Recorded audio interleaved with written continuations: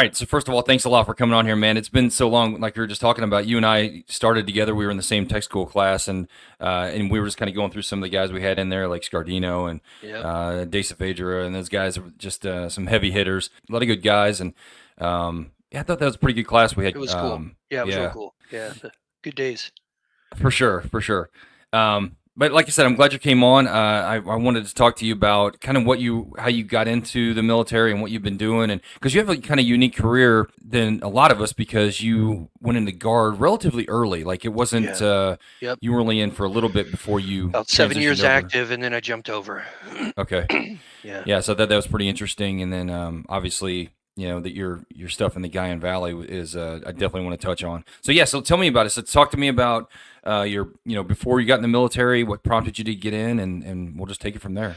Yeah, for sure. So, uh, so I grew up in Central Florida, um, a- and to be honest, there wasn't a lot of opportunity for me there. Uh, uh, I had tried moving out to California and, and hanging with some family and working out there for a bit, uh, out uh, south of LA. Um, but even there, I just wasn't kind of finding my niche, right? And I had started to join the military right after high school, and then my dad got sick, uh, and it looked like it was going south pretty fast. So I did. So I canceled my delayed entry. Uh, and then so I went out to California, tried to find something there, came back to Florida, was working a number of jobs, and I was like, man, it, it's time to just get back into it. And then Gulf War started to pick up, right? Things were All right. happening there, and it's, you know, there's nothing like a conflict to really fire up everyone's patriotism. So at that point, I was like, uh, you know, the cards are just uh, set up right. So uh, that's when I jumped back in. I actually at the time was looking at Intel, but you remember back in the day, we could select TACP. It wasn't like you had to uh, do a selection process or anything. So right. I went in, uh, I went in guaranteed uh, TACP, as crazy as that is. Um, and uh, yeah, so that was there wasn't a great story. I just really needed, uh, I really wanted to get in the military at that point. I really needed a path uh, Sure. to to do some growing. So so it worked out good. Um, I don't I don't doubt a second of it. Military, I wasn't going to grow or I wasn't going to be a real man until I joined the military. To be completely honest, so Yeah, I think For I think I'm in the same boat. I, I really didn't have a. I didn't want to go to college. I didn't have anything, Yeah. you know, on the horizon. I was like, you know what, the military is probably the best bet for me too. Yeah, for Yeah. sure. Yep. So I joined. It was cool. Uh, I lucked out actually. Uh, one, you know, we we talked a little bit earlier. Uh, tech school was a blast. I remember after tech school, I was telling everyone, "Man, I wish my career could have just been uh, with the crew down, down at Fort Walton Beach." Right. Uh, uh, but it, it was a good time. It was a smoker, uh, especially Yeah. for a guy who hadn't done a lot of physical stuff prior to that. I wasn't, you know, football teams or any of that kind of stuff. So, um, but it was cool, and it Yeah. was a huge growth opportunity, honestly, for me. But uh, my first duty station was Fort Fort Drum, which was awesome. Uh, obviously, when you're in Fort Drum, it's easy to start complaining about stuff because it gets super cold. Uh, 10th 10th Mountain uh, was a good team. I, I was with some good battalions there. Uh, worked with some good folks. Uh, Cole Tharp, Bruce Hunter. Uh, I had some good oh yeah. uh, learned from some good people there. Uh, and there was a lot of neat transition. You know, the AirCav thing was picking up where there were TACPs assigned to some uh, some birds. So it was kind of a neat time to be there, anyways. But uh, I had that was a good tour. Yeah. Went from there to to Germany. Uh, again, I was at an ASOC, but I'll tell you, man, I loved it there. Phil Godet was my boss. You ever run into him? I've heard the name. I don't think we've ever crossed paths though.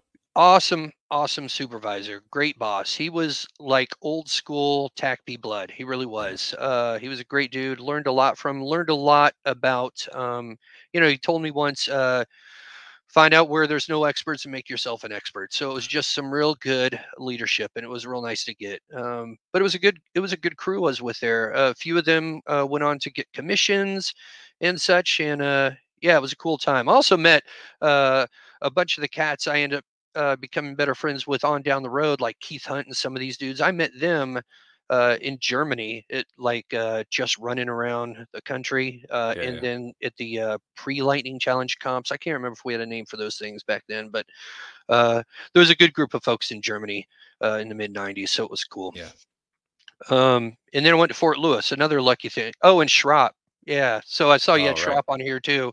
Yeah. Uh, man, we were thick as thieves back in the day. He was a fun dude to be stationed with for sure. Uh, Oh, yeah. and obviously his badass, uh, badass romance for sure. right. Right. Um, but uh, I went to Fort Lewis after that, which was a good assignment. Uh, um, I loved doing 25th ID, even though we still had to wear the freaking Manchu hair, uh, which was embarrassing.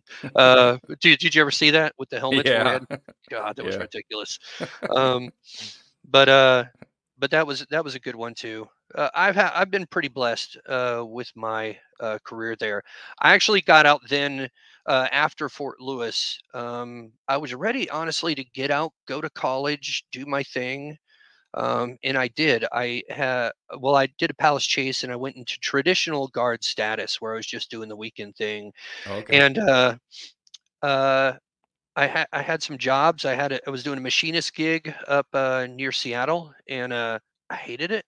I, I like I like doing I like working with my hands. I like making stuff, but I want to do it in my garage, not with a bunch of whiny people who don't want to commit, don't have any work ethic. And it was just you know you know how it is. It's just a Oh, yeah. total different environment. So I was like, what the hell am I doing? So I started working full time uh, with the uh, guard and eventually got into an active duty slot, which is kind of the best in a lot of ways of both worlds because I Oh, still yeah. could work towards retirement. Didn't have to PCS every couple years, but uh, still was uh, still had green and blue in my blood again. So it was so it was nice. Um, Yeah. And that was my career moving forward from there. I stayed in the guard, active, uh, changed around a bunch, but um, yeah, it was pretty cool. That was a good move. And you're the 116th. Uh, So that was my first, yeah, that was my first assignment, one sixteenth. Uh, and uh, I'll I'll jump around if, a little if you want for my guard Sure. career because it was it was it's different than some others uh, end up being. I I uh, started out uh, in the one sixteenth, was there a long time. Uh, after a bit, uh, um, and after my deployment in 03, I took a hiatus and was uh, working for an information warfare aggressor squadron. Uh, and I actually had to become a cop, if you can believe it. Oh, really? Uh, yeah, and I don't I don't catch crap about that every day. Amazingly, uh, a couple people jive me every once in a while, but I had a choice. It was either com, intel, or uh, security forces, and at least security forces, I could uh, um, at least I could shoot guns and stuff every once sure, in a while. sure.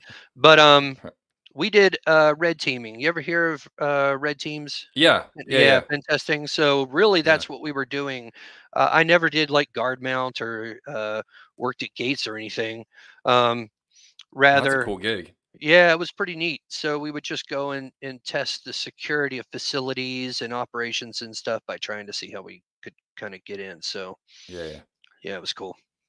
Test and I don't know. I'm going to get too far into it, but I mean, it, there's a lot of bases that need that kind of testing. Frankly. Ye- Yeah, it's and it's a big industry now. In fact, I joke that I think it was my two and a half years or so uh, in that job that probably got me the job I'm in uh, more than Oh, right on. more than uh, the remainder of my 26 years. So, but that's okay. It's all good. Sure. Uh, after that, I uh, came back to the ASOC uh, in the guard there, the 111th, and uh, was there a bit. Then I moved up to the group and kind of finished things off. I was at the ASOC a long time though. I want to say I was there six or so, or a few more years, uh, six, seven years, something like that. Uh, So yeah, when- about six years. So you were at the at was the guard ASOC. It was, yeah. So did, how did you were you guys employed that often, or how how did that work? Yeah, so uh, I had a full time gig there. So there's there were about seven people that are there every day, um, and uh, we supported um, the 116th. Uh, there are obviously there's brigades we're assigned to different uh, Sure. uh, guard brigades. It, back in the day, you would have like the 116th that would support four uh, guard brigades because there were so few guard ASOSs. Uh, uh, by the time I was uh, getting into my guard career, that was uh, breaking down to about two uh, brigades. And uh, yeah, so we were pretty busy. We'd get called on. You know, the Pacific Northwest, there's a, a quite a bit of uh, activity and exercises and stuff going on both here, overseas. Uh, so um, yeah, we were pretty busy. But um, by the time I got there, you know, a lot of the uh, a lot of stuff was just spin up, right? Uh, yeah. Um, so I got there and they were kind of spinning up for their third Afghanistan deployment.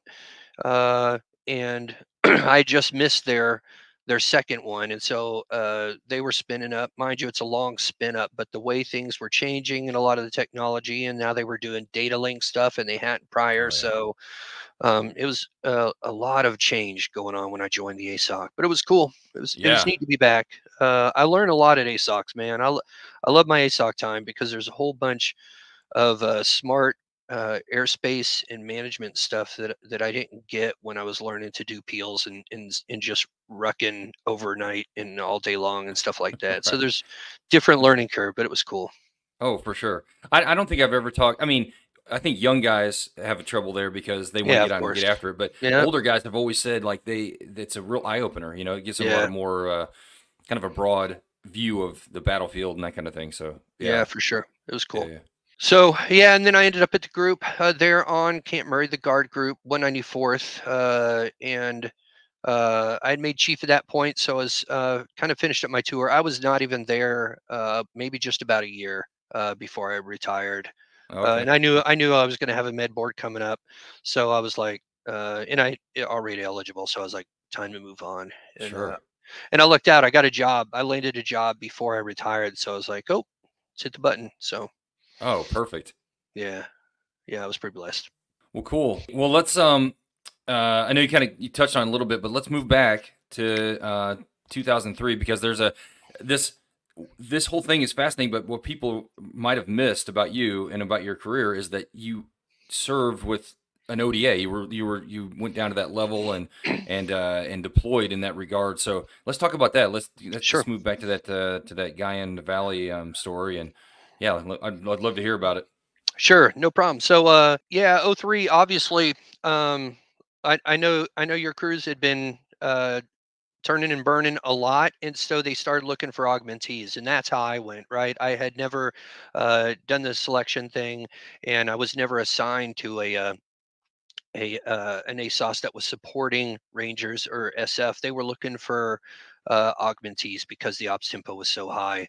Right. Uh, so we had kind of a uh, we're not we weren't supposed to call it a selection thing. I don't know why, uh, but uh, we had kind of a thing. Uh, the guard did where they took a bunch of people out to Wisconsin, ran them through, and then deployed. I want to say it was 24 and we lost one dude while we were there unfortunately jake frazier good dude um, but we went over January of 03, I remember because it was freezing, uh, right? Landed at Bagram. And uh, seventh was getting ready to rip. So there was about, man, two or three months that we were kind of just getting piecemealed out to whomever. So I uh, supported seventh group on a couple different things. Uh, that's where I got started getting my, into my first firefight was a couple weeks in supporting the seventh group uh, operation and it wasn't until about April that I got assigned to uh, to the Beast uh, crew, uh, 344. Uh, good, good crew. It was kind of cool because they didn't have a ton of experience with uh, JTACs, deploying with JTACs. Um, a couple of them had controlled, one guy had controlled CAS in Panama, you know, uh, and then the uh, the Alpha, I remember the, the team leader, he, I remember him telling me, uh, an experience he had in Afghanistan where someone brought air in too early. So he was a little gun shy to get air oh. involved too much. Um, luckily, that changed quick after the first firefight. And shows up and and helps the situation. So we got past that quick. But I liked going in, and there weren't a ton of preconceived notions. You know, I just had to show up, and I had to earn like every bit of respect I got for sure. Uh, you know how that is, but uh, but I, but I no problem pulling my weight. So it was it was a good crew. They were cool about learning, cool about teaching, and we started out in Deh Rawood, which are mostly uh, you know warlords and drug factions fighting and stuff like that. Um, right. And and I think we were doing some good stuff because this team was busy. They didn't stay inside the wire. Every day they're out running checkpoints or following up on some uh, HUMINT or something. They stayed busy, which was really cool. Um, yeah. But uh, after we were in Deh Rawood for a while, um, they got uh, the team got pushed to Orgun, close to the border, uh, and there was a lot happening there. In fact, I remember there was another team ripping out, and I remember talking to JTAC, and he'd been frustrated because his team had just been sitting inside the wire. Meanwhile, there's an insurgency, you know, an ACM group that's uh, building up because it was so quiet, and for sure they had a pretty good fit, foothold in uh, Guyan Valley at this point, and they were doing the normal stuff, right? They'd have these attacks on the locals, intimidate them, pay them to just launch random rockets at uh, friendlies or anyone supporting their friendlies. So it was a, a, a mess. But we got in there and uh, we had been hammering on them pretty good, trying to trade them down, pick at them, you know, uh, catching them when they're in the market in the village and stuff like that. Yeah. Um, the July uh, 19th gig. So we were, uh, we had a pretty good idea of where they were hanging out. Had pretty good HUMINT on where to find them, where they were holding up, how they were moving back and forth across the border. And the Guyan Valley is a pretty treacherous mountainous area. You know, I've seen it a bunch of times, but uh, Yeah. um, it gave them pretty good access across the border. So we figured we put, um, it, and I say this like it was my plan, right? But the Right. idea was stick o- our ODA uh, up at the end of the valley, and then conventional forces were going to sweep through the valley and route uh, any uh, enemies they found, or push them to us so that we could neutralize them. Um, the only problem was uh, with the elevation, you know, airlifting isn't easy, and we were kind of a mounted force for the most part. For the most part, there, um, and we wanted to be mounted for this so we could have all the big guns. Sure. Uh, and so to get to our blocking posi- position, we basically had to drive right through the front yard of where these cats were hanging out. Oh. Um, so it was dumb, and we knew we were we knew we were going to catch it uh, on the way in.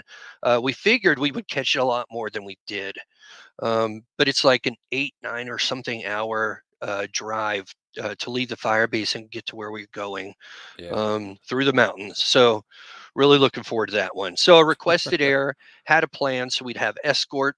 And I'd have uh, air on station to go do some reconnaissance every once in a while and that whole thing. Um, and it was working out good. Um, I'd say we were about, man, five hours in or something like that. Uh, when we passed through a village, clearly an unfriendly village, clearly this uh, insurgency group had a good foothold, or at least stranglehold there. Uh, and as we're leaving this village, you know, there's one road in, one road out on the other side. right. Um, uh, two trucks uh, jam past us, pulling around us, two Hiluxes, right, full of males of fighting age in the be- in the bed of the truck. So it's like, well, they saw us; they're going to set up ahead of us. I mean, it's clear what they're doing. right. Um, but you know, ROE, we can't stop them or do anything. They have to move on. So at that point, we just, uh, you know, we just got a little salty, uh, got hyper vigilant, and uh, um, of course, because of the nature of the roads and the terrain there, we were on a mountain road, and we were at a place where there's some S curves. Um, high terrain to our left it dropped off to our right and then i would say uh, 100 to 150 meters across the ridge to our right was more high ground. And uh, we were moving along and i was in the commander's vehicle. I was actually in the turret uh, and uh, had another bravo in the back and uh, yeah the commander and a driver uh, and then we had a it was basically three us gmvs and then three amf trucks is how we were how we were moving.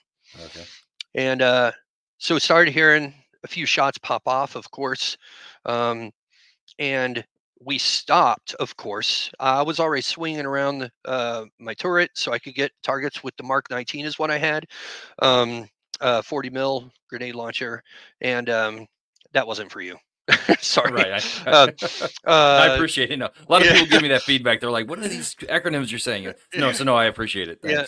So uh um so i was swinging around and honestly i couldn't even make out targets yet so i just started suppressing areas where it seemed like i'd be shooting from right? Obvious Uh, sure. place for uh so along the ridge line i found some wadis with some brush uh and i just started suppressing uh but i didn't realize at the time we were kind of stuck in the in the kill zone because the vehicle ahead of us one of the amf dudes had been shot in the back it collapsed his lung and he fell out. So they Oh, stopped the driver got out to check him out and all the other dudes in the back of the truck dropped their weapons and crawled under the vehicle. Oh no. Uh, oh yeah, it was awesome.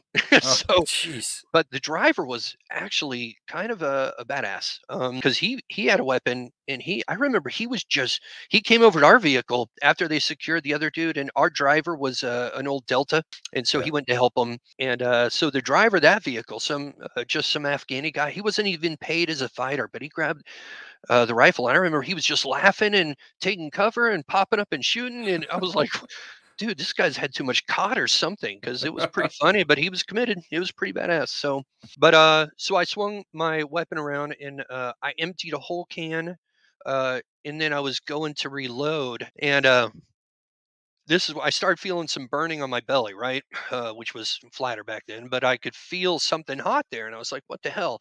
And then it was getting distracted, it was starting to hurt. So I reached behind my belt buckle and pull out. And I had, uh, uh, not the, um, when I pulled it out, I heard something fall. All I had in my hand was a, the copper jacket, but the bullet ended up falling onto the into the vehicle, Okay. and it was around had probably gone through um, either the Mark 19 or the vehicle or something, and then hit my vest.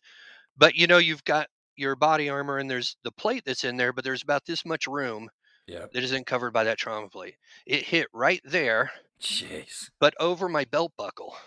And so it Okay. didn't penetrate. As weird as that is, yeah, man.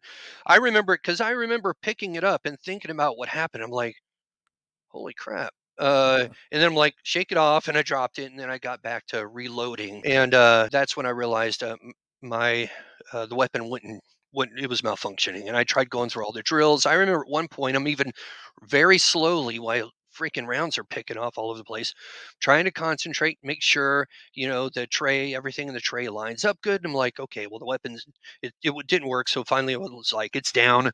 I had my M4 uh, bungee corded uh, at the base of the Mark 19 in front of me, and so just as I'm starting to grab it, that's when I got hit. Um, and fell down and i didn't even realize i got hit right?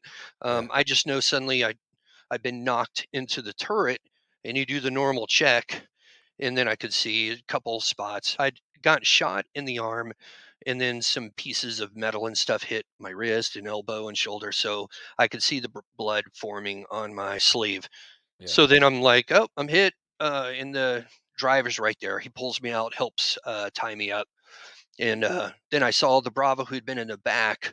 Uh, he'd been shot through the leg, and his ammo had gotten all twisted as he tried to dismount with the 240. So he had to abandon that. So Mm. I was outside the vehicle with no weapon and no radio with this. Well, I had a pistol, but yeah, that's that's Yeah. brilliant. Uh, so luckily there were a bunch of AK-47s on the ground, so that was handy.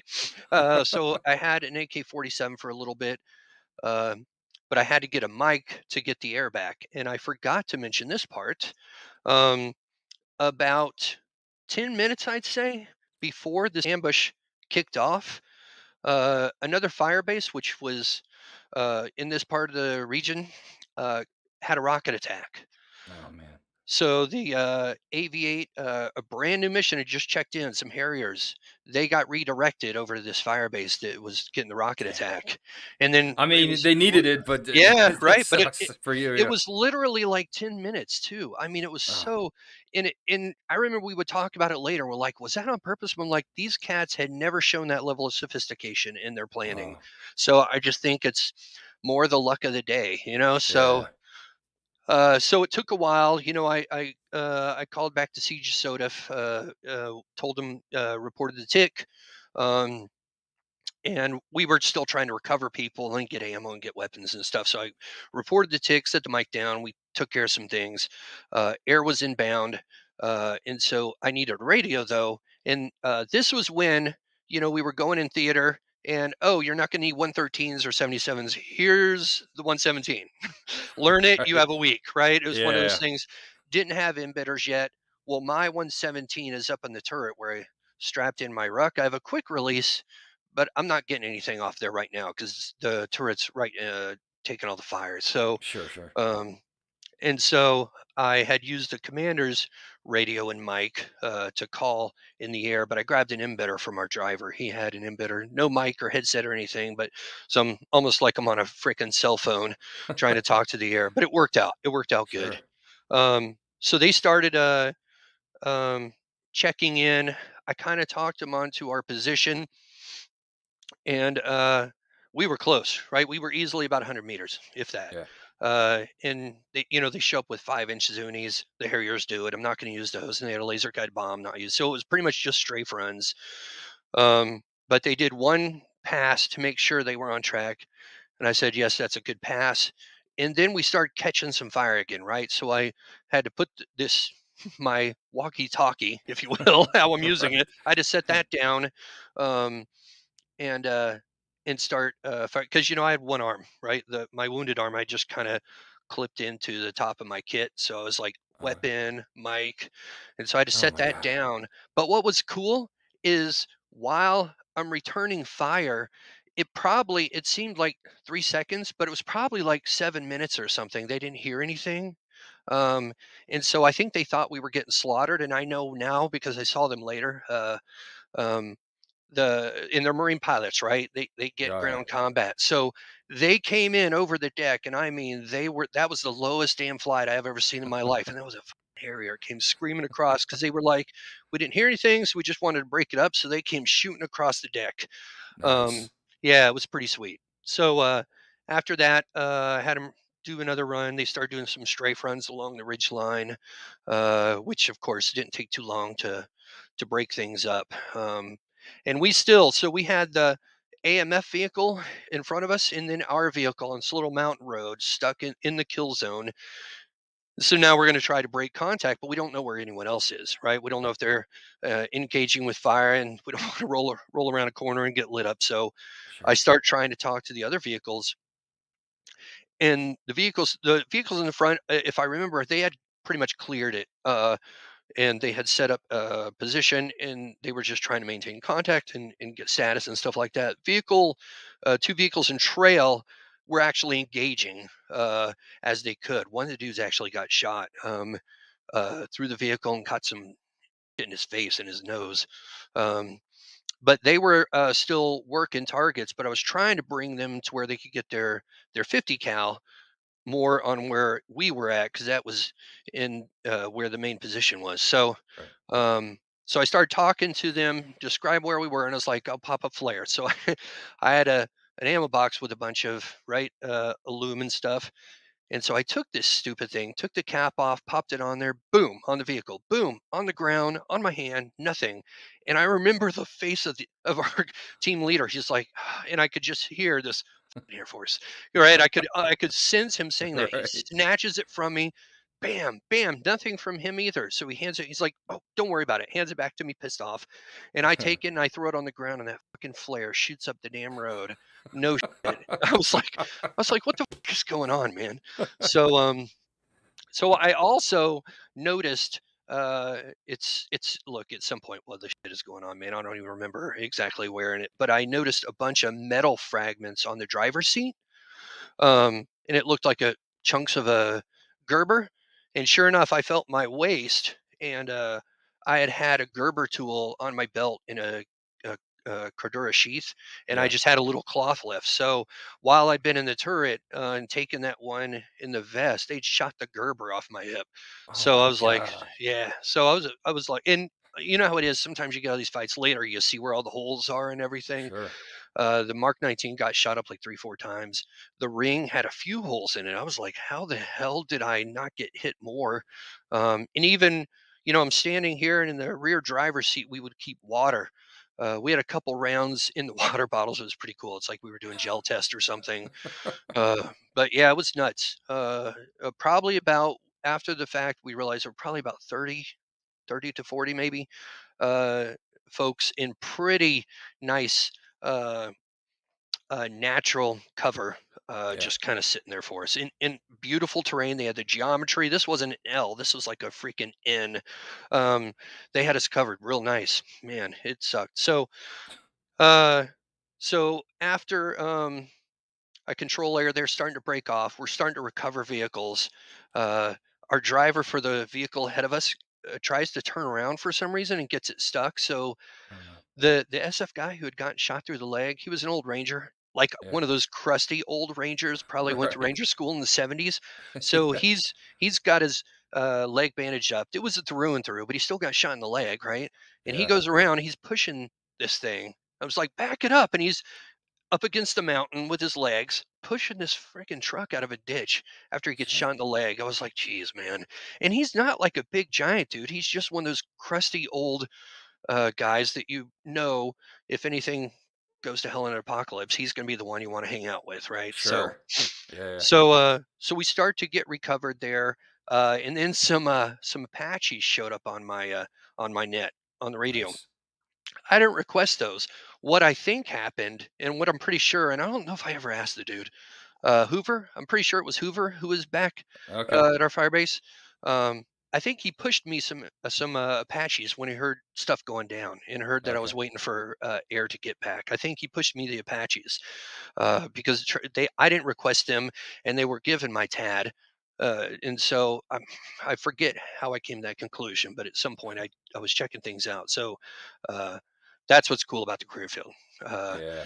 so and uh, so I got the Apaches, but we didn't need to engage any targets at this point. We just had them look for an HLZ because we had um, uh, three of our guys wounded, two were medevac, um, and then our AMF guy was in pretty bad shape. So we start uh, breaking contact. I got back up in the, the turret uh, with an M4, uh, and we start exfilling. Um, uh, an Afghani in the back of the truck who had who had just loaded up because we're trying to uh, scramble out of there has an AD about to shoot my head off. So that would have been Oh brilliant. God. No kidding. No kidding. Because it, it scared me enough. I was I was caught back. I was like, what the? f-" And then I was I wanted to crawl back there. After all shit out of that, yeah. Oh yeah, it was ridiculous. It was ridiculous. Um, but we, uh, yeah, we we jam out of there. Uh, we uh, link up with the other tr- with the other trucks, the other parts of the convoy, and then we uh, get to an HLZ. Um, uh, my team sergeant was a former medic. Him and uh, the one medic we had with us, we only had one at the time because another one ripped. Yeah. Uh, uh, they did a chest tube on this guy at the HLZ and everything. It was Oh brilliant too. And I found out later while I was in the hospital with, with the Afghani dude, uh, they didn't need to redo anything. It was done perfect. Like on Wow. the sand, out in the desert, after getting everything shot up. They're just they were good. Uh, it was a good team. Great Yeah. medics. Um, great, great all the way around. But uh, yeah, we got out of there. Spent uh, me and the other Bravo got shot through the leg. Spent a night in the hospital, and then we went back to the team. Um, they wanted to keep us longer, but it was there was no no real point to it. Might as well get back with the team. We can get the care we need Yeah. from the deltas. So so that was pretty much it. I'm sure there's stuff I left out, little details that are either funny or or uh, embarrassing, but I, I can't recall any. Yeah, that's an amazing story, man. That, that- I was reading through it. You sent that that bio over, and the thing that struck me the most was that, you know, a lot of us, I, don't- we want to say that we would react like the way you did, but who knows? But you you did, man. You got shot. You got you were getting things shot off you. Your primary weapon was getting shot, and you just still kept after. You just still did the you and that. You know, you talk about that ranger that uh, you know, the old ranger, the crusty guy that was you know shot, and he was pushing the truck you're in that same caliber guy. You're the same. You're in that same group. You were. You just continued to fight, and I, I think that's commendable, man. And not to mention, I don't know if people don't know this, but you got you got a silver star for Yeah. for this for this engagement.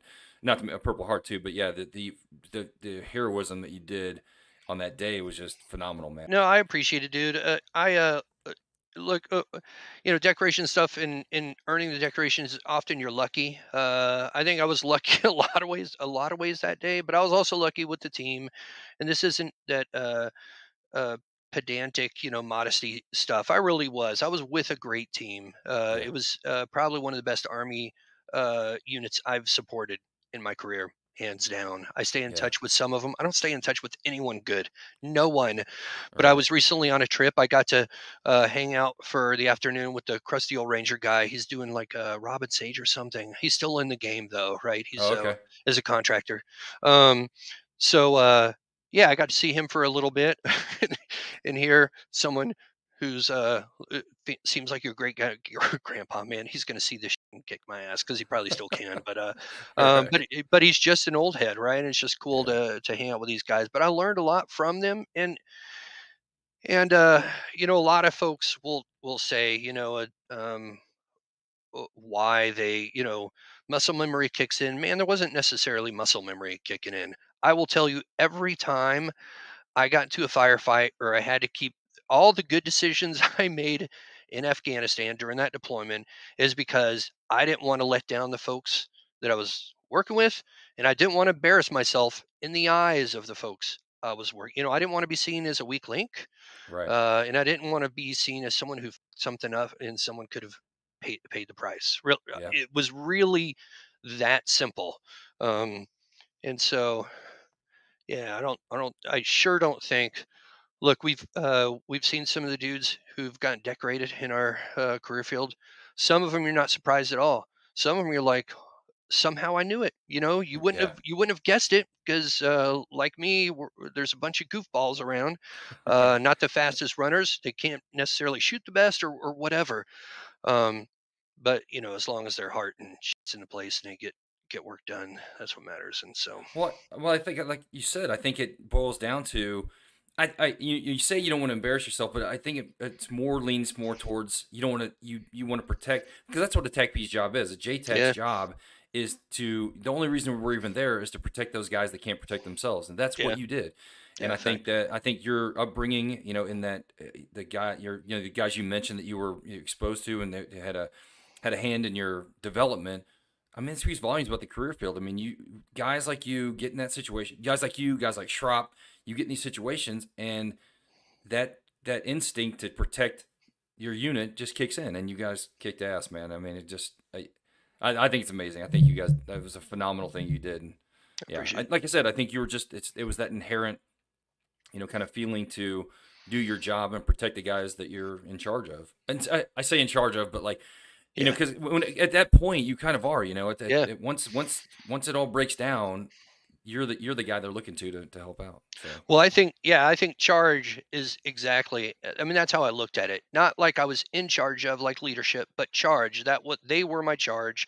You know, the Right. forces we. I even tell, I even tell my honey all the time. I'm like, baby, you're my charge, and she's like, Right. what? What are you talking about? But it's the Right. same kind of thing, right? I am Sure. indebted to make sure everything works out for whomever uh, I'm I'm there to support. So right, so yeah, I think charge is totally appropriate. That's how I always for saw sure. it. Yeah. Yeah, I mean, it's nothing cosmic. It's nothing like too dramatic. It's just that's that was our job to was Yeah. to protect those guys, and yeah, For sure. You, and you did it, man. You you nailed it. You really really did it. Yeah, Um, it. so then, uh, so did anything happen after that? Like, I mean, that's plenty of things to go on in Afghanistan. But did, did you run any other scrapes during that? Yeah, there was or- yeah, there was some stuff.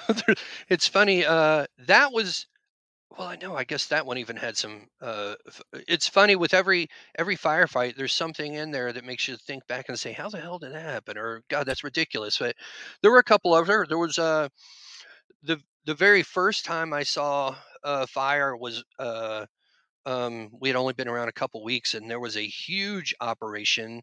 We went into Baghran Valley uh, down Southmore. Okay. Um, and uh, there were probably I want to say four ODAs and ODB and a couple NavSoft teams. This was huge. It was some big cat in the with HIG, uh, Hezbi Islami, uh, Uh-huh. Gulbuddin crew. Um, I want to say it. I, I think that's who it was for this. And we went down there. We spent about two weeks on the road. We we went down, uh, got a bunch of HUMINT from sources they had already worked out. Right, they already had uh, their sources. So we tracked those folks down, and then we found the village we needed to go to and rolled into there. Um, but when we rolled into this valley, there was a huge gator back, big old walls um, on either side. This was a nasty, nasty place, and there were probably a hundred or more people waiting for us. Jeez. And that uh, I remember seeing the first RPG sail in front of our vehicle. I was in the back of a up armor, which I never want to do again. It feels like you're rolling around in a casket when you can't fight back and you're just working radio. That is not the way to go. Yeah. Um, but uh, we rolled in there, and, and that got pretty uh, crazy. Um, we didn't lose anybody, amazingly. Um, but the the air, I remember we had some. Uh, was it Dutch or Danish? Um, F-16s that had crap for sensors, crap for uh, even IDS or GPS location. Uh, They didn't speak English, so basically we spent Jeez. about 40 minutes of trying to work some casts to no end until the A-10s showed up. But most of the Yeah. firefight was gone then. So we basically just shot through this this alley, uh, getting everything shot up. Um, there was a, probably a dozen JTACs uh, throughout this crew, us and uh, a couple Navy, and uh, we hung out at a fire bay. We overtook a compound, made that our new fob, right? Yeah. Uh, and hung out there a while. But uh, I, w- I was talking to get to this one night hop where uh, I was with the ODB team, and so uh, our team in one ODA, we had to go out to a village and uh, and PUC somebody uh, and bring them in, get some HUMINT, and um, knew it was going to be kind of nasty, right? So we had rolled and at night, and uh, uh, as we're moving in, uh, we were already getting fire, but it's in the middle of a village, right? Uh, so it's kind of um, it's it's very chaotic, right? Because you never know for sure where it's. There's not always muzzle flashes and all this nice stuff that you see in the military. So I Mhm. had an AC-130 gunship overhead, um, and then an RC-12 showed up. Uh, did you ever work with their sensors? Yeah. They're Yeah. pretty. Yeah, they're pretty astute. Uh, I Yeah. had never ever worked with an RC-12 Delta uh, in in that capacity, but um. I remember uh, we were able to work our way, uh, get things done, and we were moving out, and we would still take some fire. And uh, I remember the guy in the turret is trying to identify targets, but he's but he's having trouble. And next thing I know, the gunship says someone's approaching your vehicle. Anyone approaches the vehicle like on foot, you know shit's about to go south, right? Sure. That's Sure. not a good sign because things are about to go boom. And so uh, I tell the guy in the store, I'm like, someone's approaching the vehicle. He's, he's like, what? And then he's asking for information. What sign? So I tell him he's swinging around. He can't see anyone. A lot of dust. Where we were at was that real fine talc kind of stuff. Yeah. Um, so at night, it messes with nods, you know, so it was just harder to see when we got, you know, five vehicles trekking through there at a decent rate of speed. And so the gunship's like, no, they're approaching the vehicle, back right, uh, you know, and getting close, about three three feet or something like that. And then I hear this real quiet um, female voice from the RC-12. It's a dog. You know, it was real soft. Uh, mine was much bassier, but it was like, and I'm like, you gotta be freaking kidding me. So I'm sitting here throwing this guy into high alert.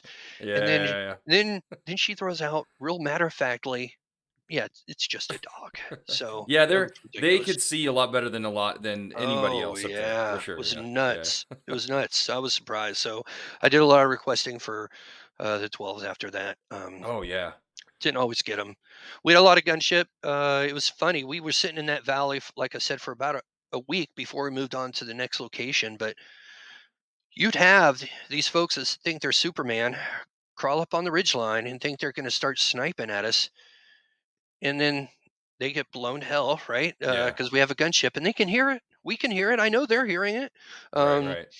And then and, uh, next night, someone else tries it. I'm like, what are y'all doing? Seriously? And this wasn't even that early in the war. I mean, it was kind of we've been there for a couple years by then, so you know Yep. the gunship was well Yeah. known, and the, It know, was. It was the Yeah. weirdest thing. Uh, so um, yeah. So no, that but that was a good. Uh, that was a good one. We were pretty lucky there. And I will Yeah. also say, at the B team, I was kind of stacking all this aircraft, and if there wasn't anything to do, I would send them out on recon. But I will tell you, after a week, I was controlling air all the time.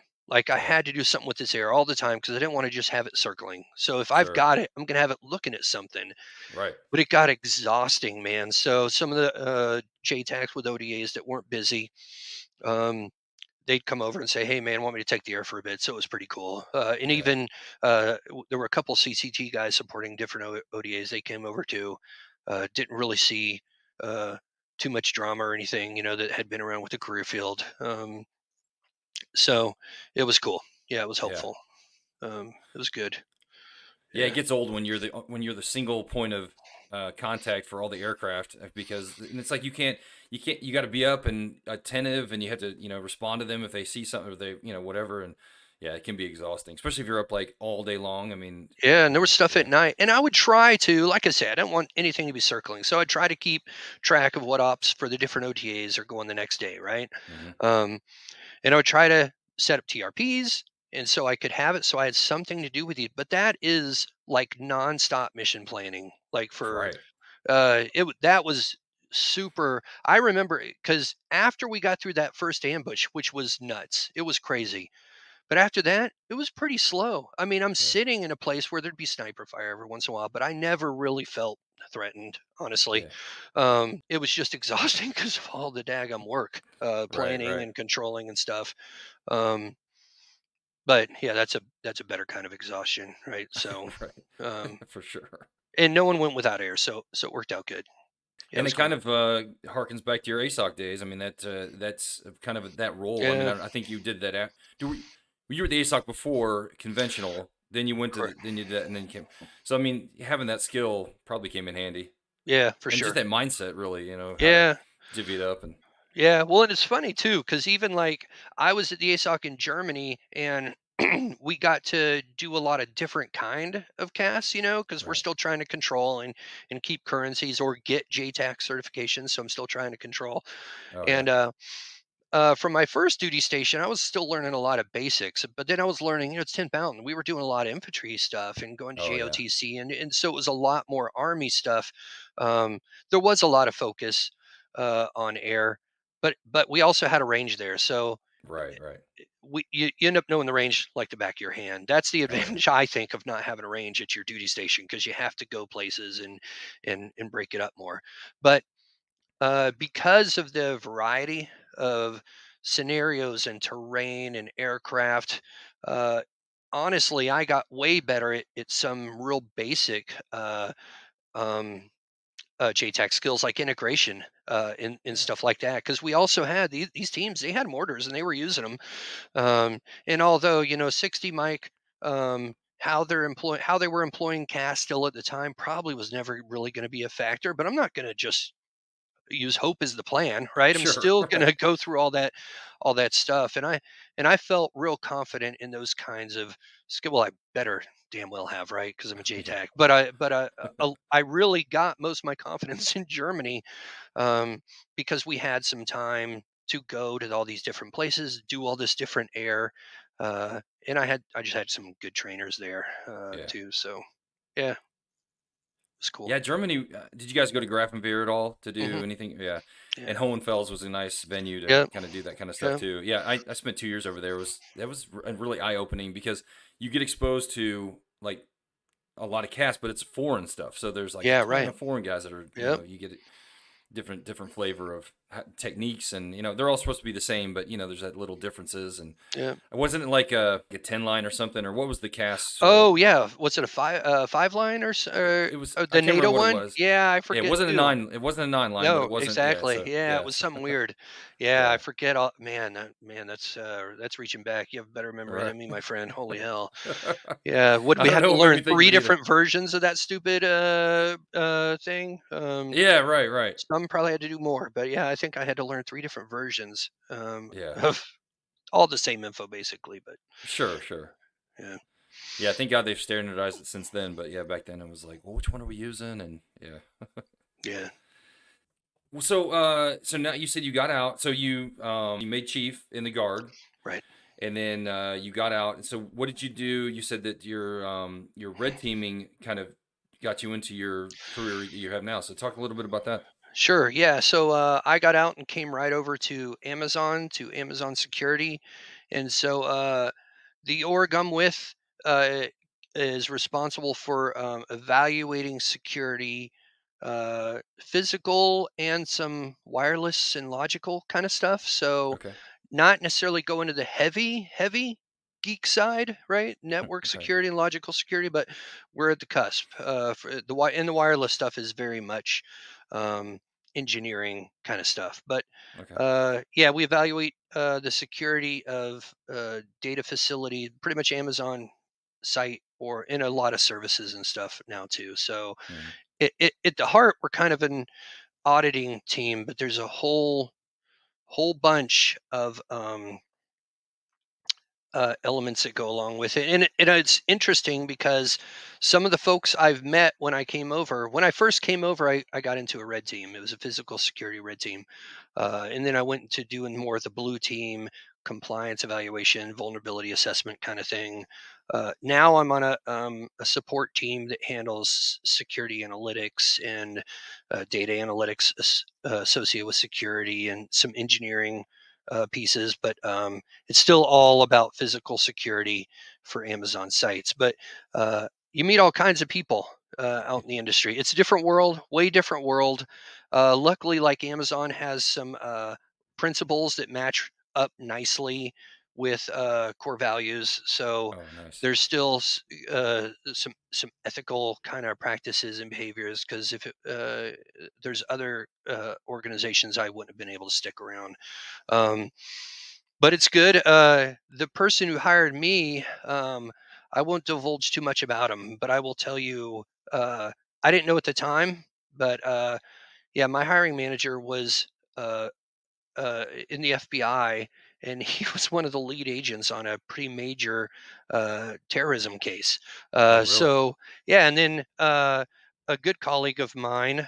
Uh, uh, was um, SF Medic of the Year one time. He has like nine Purple Hearts. Uh, so there's all kinds of cats you run into uh, on this side uh, uh, out in the industry. So it's pretty neat. It's pretty Yeah. cool. Um, and I like my work. I like my work. Keeps Oh, me good. busy. I get to work from home right now. Um, yeah, so it works good for the fam. And Sure. uh, yeah, it's cool. I dig it. Nice. I, I again, I was lucky because I had, I ha- I got this job, like I say, as I was getting out. So I took two weeks of turn, uh, two weeks off, and then I jumped right into it. And uh, a lot of terminal leave uh, while I'm working for Amazon. That is, I'll tell you, if you have Oh. a choice, do it that way. That was Yeah. pretty cool. That was good double dipping there. I was gonna say that. Yeah, that makes the bank account look pretty good. I'm Yeah. sure. I've, I've fixed that since then, uh, but I balanced it out. But uh, at the time was awesome. Yeah. yeah. so, um, so speaking of all that, what uh, do you have? Is there anything you're doing uh, extra, like any kind of um, charities that you are involved with, or any kind of, um, you know, any uh, any programs or uh, associations or anything that you are passionate about? So uh, yeah, there is a uh, um, we have a scholarship fund for a TACP who passed away. Uh, I was uh, I will send that to you if that's okay. I don't have it Yeah, for sure. Uh, I'll send you the Facebook page, uh, the Scott T Scott T McDaniel uh, Memorial Scholarship. He was with the 116 ASOS. Uh, he passed away a tragic accident, not combat related, Mhm. but he was a good dude. He, you know, you show up to any ASOS, and uh, there's that guy who can figure out everything. Uh, like you get a new radio, he's the first worst per, uh, first person to pick it up and start building the pages for the for the handbook. Right, Right, right. that was this guy, and he was Okay. just a funny, good dude, good family man, um, good guy. Uh, and it was just it just sucked. So Yeah. we have a memorial scholarship for him. Um, we just uh, this last year got our um, tax ID. Uh, so in 2024, we're hoping to give out a bunch of $500 scholarships. So Oh, great. I'll send that info out with the criteria and everything. Definitely. I'll post it to social media and um and Cool. and we have it on here and you know people can be aware of it. Just real quick, how how would somebody apply for it? Do they just So on our Facebook page, yeah, on our Facebook page, we have uh, the um, eligibility requirements and the application requirements uh, as well. Um, it's all right there, and then you just uh, can apply through the Facebook page. We don't have a website; we're just working through Facebook. okay. Uh, and then next year, uh, uh, we will have around the middle of the year, we'll have a review um, of the applicants and choose as many as we have money for. Okay. Awesome. Yeah. Man, that's cool. Yeah. Yeah, sorry to hear about that guy. Um, but it's nice that uh, I see. That's the thing. Everybody I talk to on here, that's why I always ask if there's any kind of initiatives or anything because there's w- people just give back, and it's so um, Yeah. it's so really cool to see guys like you and who have you know been there, done that, but they they feel that they feel compelled to kind of give back to the community, and Yeah. I think it's cool, man. It's really commendable. So Yeah, yeah, I appreciate appreciate that. Yeah. Yeah, for sure. Well, dude, this is this has been awesome, man. This is uh, it was great catching up with you. I mean, uh, like I said, we we started in the beginning, and yeah, I can't thank you enough for coming on. I uh, Sure. you, I was I really appreciate you taking your time to to sit down and tell us your story. I mean, it's that's a fascinating. I I didn't want to just focus on that, but I definitely Yeah. wanted to hear about it because I like Yeah, I hadn't course. uh, like I've kind of talked to people on here. You know, I know the I know you. I've known you for a long time. I know a lot of guys, but then we don't always hear these stories. We don't we don't hear them Yeah. firsthand, and uh, it was really amazing to kind of hear the firsthand account of, of what you went through and Yeah, that appreciate it, and I appreciate this. Uh, um, until you hit me up, I hadn't even listened to any of the podcasts. I mean, I, I'll yeah, I'll get on Facebook and I'll scroll around a little bit, mostly just look at funny stuff or family stuff or whatever. sure, Uh, but I don't click on too much and I don't post too much. So uh, it wasn't until you reached out that I started hearing from some of the uh, stories, and I know some of these cats, and I haven't heard firsthand either, right? Uh, uh, so um, no, it's cool. It's a good thing. So appreciate it. Yeah, keep it up, Yeah. man. Yeah, right on. Cool. All right, brother. Well, hey, thanks again, and uh, yeah, keep in touch, and um, hey, yeah, send me that info about the um the scholarship, do. and I'll post it. Yeah, for sure. We'll do. Thanks a lot, All right, man. man.